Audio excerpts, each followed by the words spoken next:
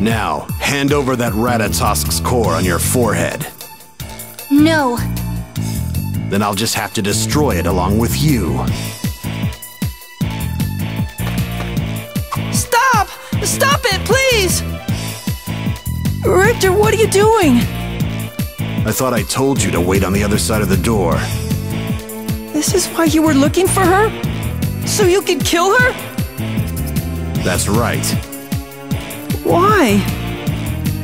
Because she is trying to awaken Ratatosk, the Demon Lord.